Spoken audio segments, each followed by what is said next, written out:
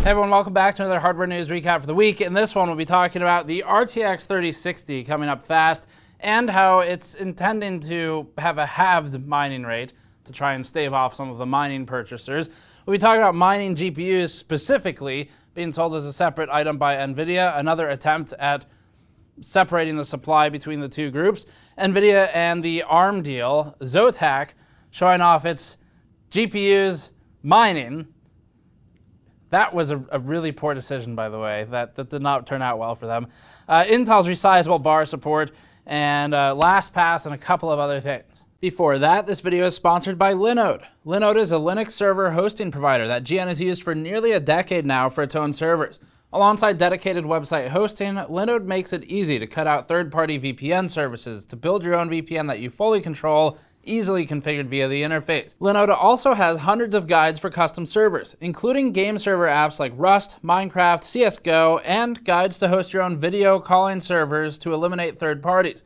Linode is a great way to take back control of software and your hosting, and Gamers Nexus viewers get a $100 credit for 60 days on new accounts at linode.com slash gamersnexus or click the link below. So quick stuff on the GN side. All of the disappointment shirts at this point have been shipped for at least a few days now, if not a full week or more. Uh, so if you ordered one, you should have gotten a tracking email. And of course, if you uh, have any questions at all, you can email support at gamersnexus.net. And then we also just restocked the GPU artifacting shirt, which was uh, the front of it is our original disappointment shirt design from many years ago. So we just restocked that one. It's got the GN logo back and the artifacting shirt on the front which at the time commemorated the, uh, the RTX 20 series launch, replete with artifacting from memory. Okay, let's get into the news. So AMD will be our first story. AMD has just acknowledged the USB issues that people have been complaining about for a few months now and has stated that it'll be looking into resolving the USB intermittent connectivity drop issues. This is something we just started looking into a little while ago, and uh, one of the problems with this particular defect and this is what AMD is talking about as well in its post, is that it's not necessarily straightforward to replicate if you don't already have the issue. And so that's one of the problems we were running into is getting the exact set of hardware to trigger it. And then you also have to deal with things like AGESA uh, or BIOS revisions as well, where the USB connectivity is influenced. And it does it, it, seems like sometimes or most times requires a Gen 4 GPU to be connected because dropping the PCIe generation affects the behavior. But the short of the issue, if you're not aware, is basically on some of the newer AMD platforms, particularly with Zen 3, with Gen 4 GPUs, seems to be the highest rate of occurrence in terms of a combination of hardware. Uh, there is a USB dropout issue where you'll occasionally lose connectivity to connected USB devices. Could be as innocuous as your mouse stops responding for a second. Could be as fatal as your hard drive, external drive is doing something, a connection drops at a critical time and you potentially corrupt some or a lot of data, uh, as was reported in one of the threads that we were following.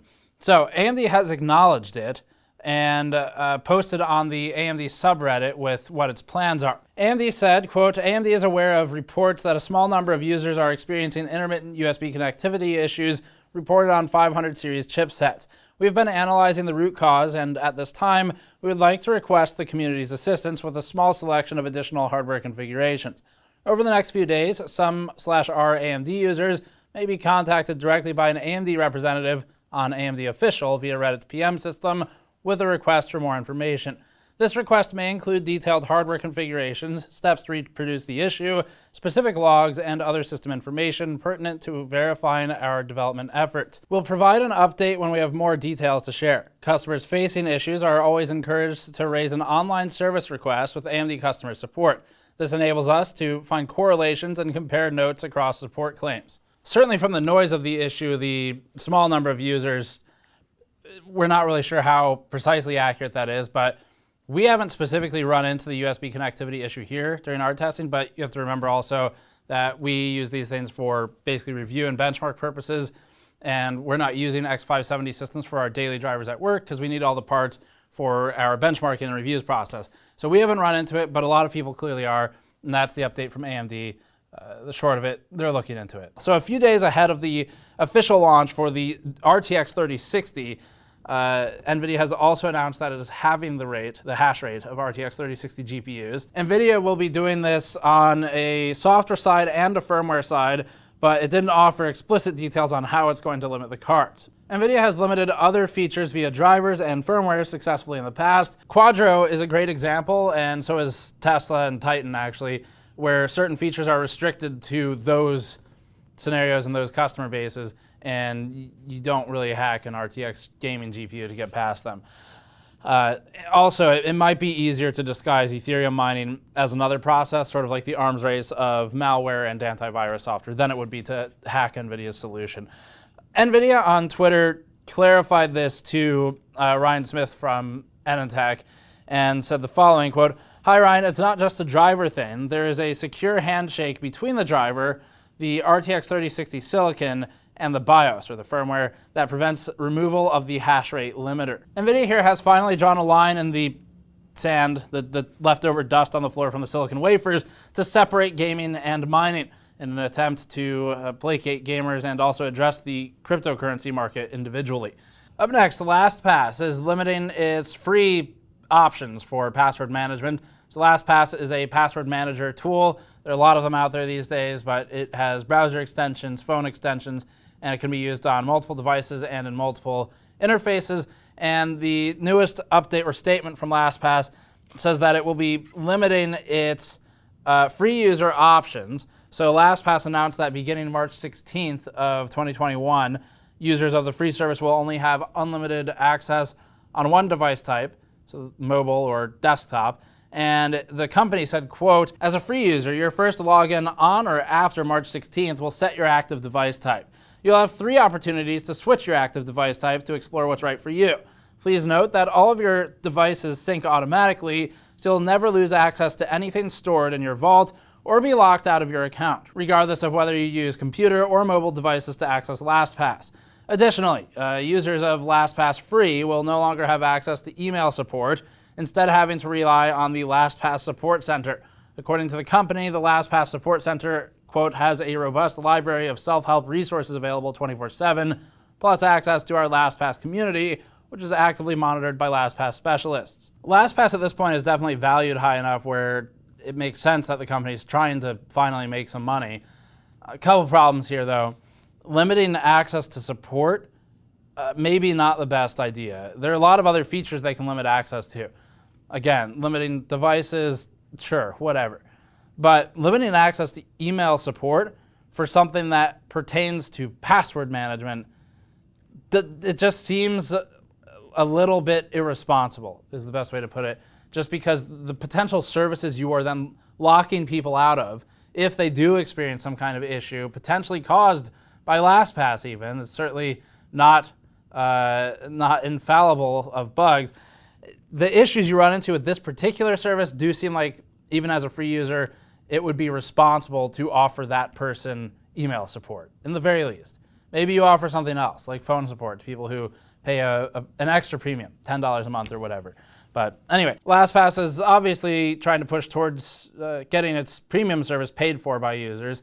We don't necessarily begrudge them of this, but you know the way they do it is what matters here, and uh, it could probably be done a little bit better. So uh, something to take away here is that it's it's always harder to remove something you've offered than to give it out. And in this case, they're removing something which is more likely to cause some controversy because that very thing that they're removing is what got LastPass in front of everyone to begin with. But this is often the direction that Silicon Valley style app providers go. Zotac. Uh, so a few days ago, I clicked retweet on a Zotac tweet. Zotac sent out a tweet of someone in their creator sphere that they work with where it showed uh, effectively limited edition RTX 30 series GPUs being used on a mining rack, and they said something about getting that coin. Got to get that coin though. And all I did was click retweet with comment, and I added the comment, retweeted without further commentary. Didn't even say anything about what was going on. And that's all we did. And within a few hours, Zotac deleted its tweet. So uh, amid power outages in the US and global GPU stock limitations, Zotac thought it would be a good time to promote GPU mining to its gaming audience. That's really the division here was, sure, promote your mining if you want to sell cards to miners. Go for it. But Zotac tagged this tweet with a few hashtags that really made it worse. Uh, and they were very cringy too. So the first one, hashtag PCMR. Second one, hashtag PC Gaming. And then they also said the dankest of all, hashtag gamer. Going for that wide audience there. Uh, you know, because, well, that would be the appropriate hashtag for gamers who can't get GPUs right now and are definitely not upset about it. Ask us how we know when we've reviewed them. Uh, the tweet went over about as well as you'd expect, although surely not as well as Zotac was hoping. The company removed the tweet, and uh, the, the, the user response on Twitter was mostly mostly represented by the words anger and frustration, as you would expect. And in other words, Zotac is, is still learning how to actually reach its market. Up next, some rumors about Intel's i5-11600K. We don't cover too many performance-related rumors because performance is the most subject thing to change. But the 11 series CPUs should be coming out in about a month, maybe a little less at this point, so we're pretty close to launch. There's a new Geekbench score on a Gigabyte Z490 motherboard that claims to feature an Intel i5-11600K the board listing and the results listing page show that the CPU has a frequency range of 3.9 gigahertz to 4.9 gigahertz, although this doesn't give us any insight as to the boosting behavior. The scoring for Geekbench combines floating point operation performance analysis, cryptography scores, integer performance, and it calculates an aggregate number based on about 21 tests in the suite. Gaming isn't fully represented here, but things like physics, encryption, text, PDF processing, and image compression make up different parts of the score. Geekbench really isn't one of our preferred benchmarks. It, it doesn't necessarily show you the full picture, and some of the pictures it shows aren't particularly useful. But it gives a general idea, and there's some comparative data out there that can be useful. So, for what it's worth, the scoring that's up there says 6220 points for multi threaded performance. And then for single threaded performance, it says 1565 points. As far as what does that mean? Well, we can pull up a 5600X entry, which shows in, uh, in both multi-threaded and single-threaded scoring, it ends up beating the 11600K, the alleged entry that's in there now. now. This is a pre-launch entry. It's possible there's some room for improvement, but how much? Well, normally it's not several thousand points worth in, in Geekbench, but we'll see what happens. Of course, the larger thing to consider is the pure gaming performance in different types of games, because that's where the CPU is going to be targeted, and ultimately it's the pricing that's going to set these apart. So if Intel can come down a little bit from its previous pricing, it may actually end up in a beneficial position, even if it's a little bit behind in some of the performance aspects. Now, we're aware that there are also some leaks about Alder Lake in the past week and performance for Alder Lake but until we're closer to launch for this one, we're just not going to report on it until there's there's more information out there. It's a little too far out, so we feel like it'd be uh, most responsible to hold on to coverage on that until it's a bit more solidified. Up next, big tech finally uh, voicing up about the NVIDIA ARM deal. So if you haven't been following it for the last few months, NVIDIA currently has a proposal out there to buy ARM for $40 billion. ARM is a neutral provider of IP and is able to work with the likes of basically everyone in the industry. So ARM is in most of the phone market. It's in the server market. It's getting into some desktop implementations as well, and is a, a major player, especially being a neutral party. So there's a new Bloomberg report that claims that Google, Qualcomm, and Microsoft employees or uh, individuals familiar with the company's investments or dealings with ARM are actively pressuring antitrust regulators to intercede.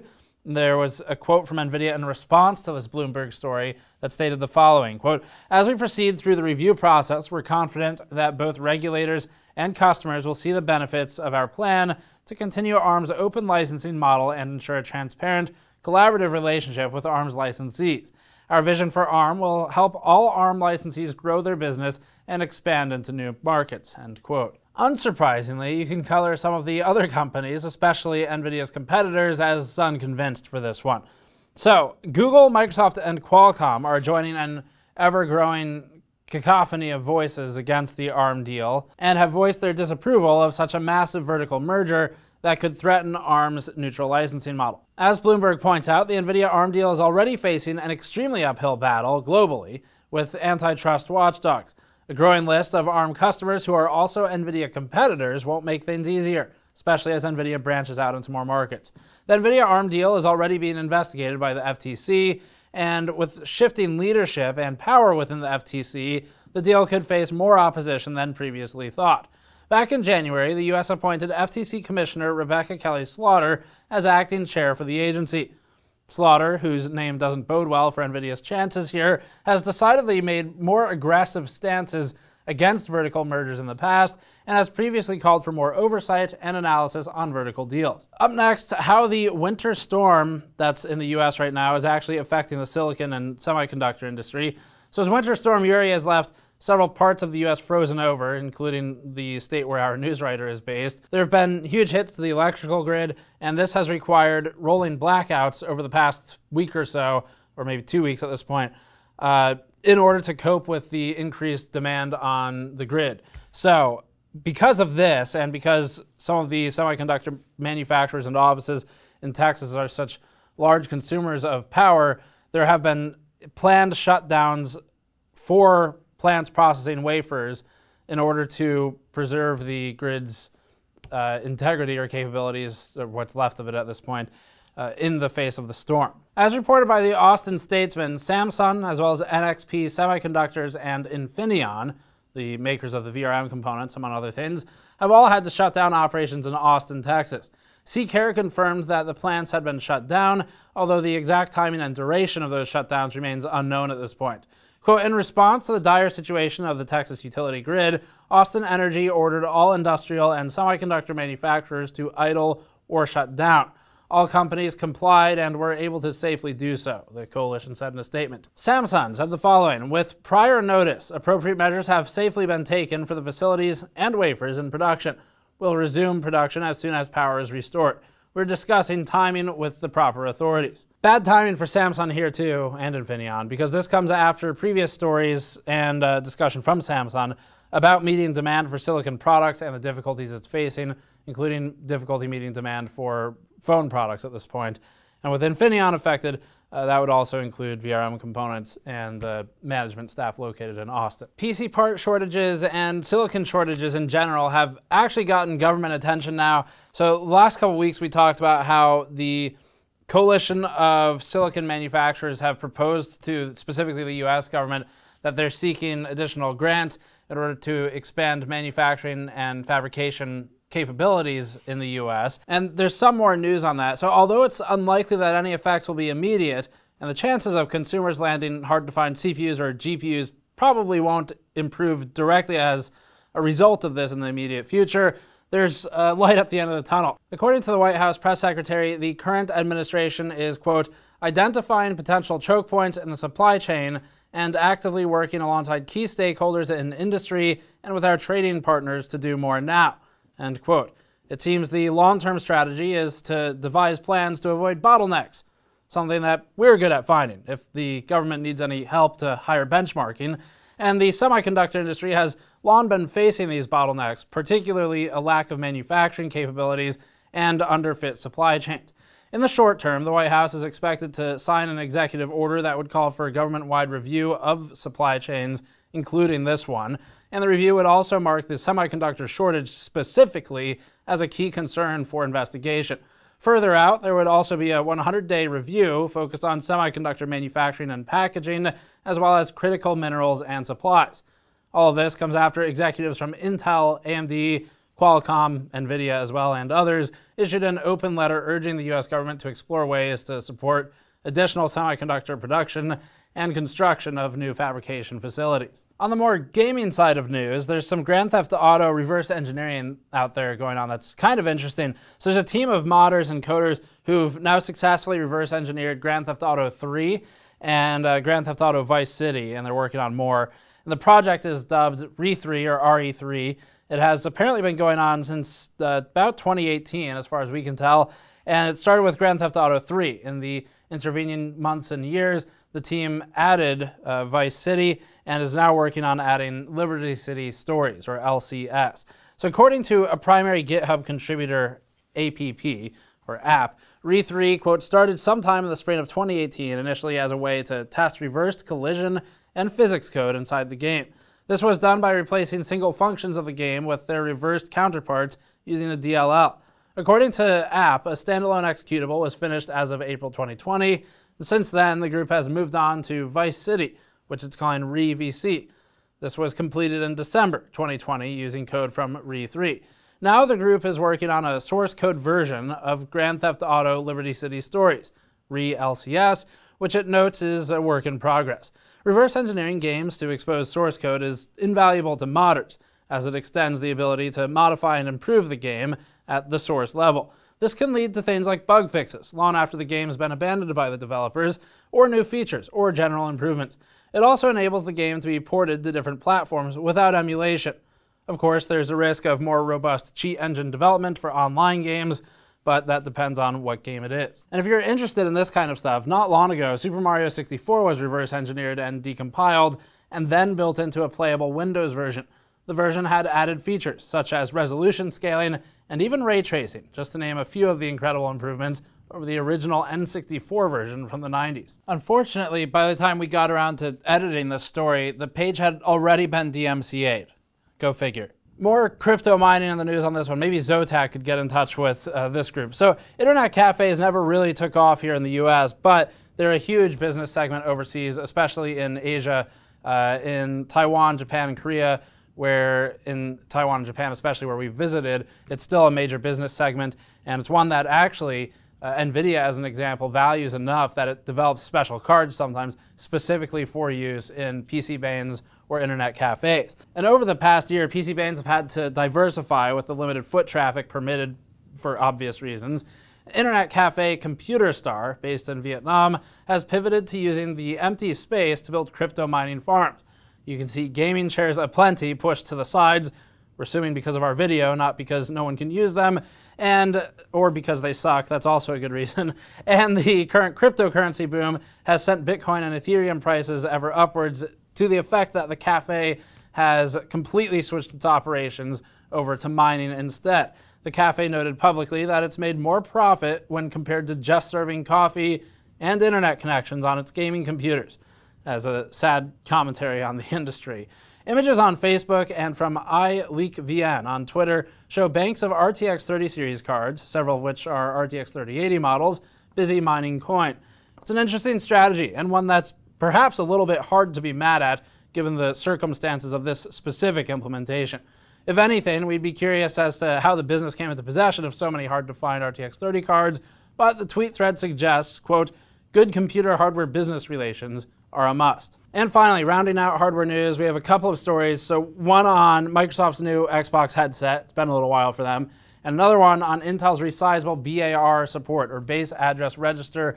Resizable BAR has been in discussion for, uh, well, since about the RX 6000 series came out, since that kicked it off with AMD's SAM, or Smart Access Memory, and NVIDIA has been working on BAR implementations for several months now. We were expecting to get a beta version from them back in November around Thanksgiving, but that didn't happen, and they're still working on it.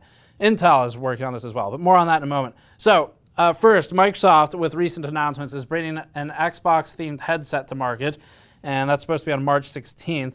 Normally, a headset isn't particularly newsworthy, except this one, well, it's been a while. Microsoft hasn't put out an Xbox specific headset since ye old Xbox 360 days. And the new one is a wireless headset. It's simply called the new X, well, it's called the Xbox wireless headset. Uh, we assume the next one will be called the 360, and then after that, they'll switch to names that no one can remember. And it's up for pre order at $100. March 16th for the launch. In terms of design, the headset itself is ironically one of the more understated and palatable designs. There's no gaudy gamer flair on this one. Microsoft's recent foray into high end audio with its Surface headphones seems to have informed the design for its Xbox counterpart. On the surface, no pun intended, it seems much of the construction and aesthetic has carried over. The Xbox wireless headset will be compatible with the Xbox Series XS, Windows 10 PCs, and mobile phones. The headset can also be used simultaneously with both a phone and an Xbox console. Moving on, Intel dropped by the Tom's Hardware show and spoke to resizable bar support for some Intel platforms. You all likely already know what resizable bar is, as both NVIDIA and AMD have been carrying on about it, and we've tested it. However, you may not have already known that Intel already supports the resizable BAR feature in its Tiger Lake H35 and Comet Lake H chips. Intel will also be supporting resizable BAR in its upcoming Tiger Lake H45 chips. Intel's general manager of premium and gaming notebook segments told Tom's Hardware that it had been working with NVIDIA on developing a standard solution that would be compatible across multiple vendors. As ever, it'll be up to those vendors on how usable the feature becomes. However, Intel told Tom's that it hopes the feature continues to see adoption and Intel hopes to continue scaling it. So that's it for this one. As always, thanks for watching. You can go to store.gamersnexus.net if you want to pick up some of our stuff like the mouse mats and toolkits which are in stock, by the way. We've managed to hold stock of these for a while now, longer than GPUs. And uh, those are on the store or patreon.com slash gamersnexus. We have some new behind the scenes videos there. Thanks for watching. We'll see you all next time.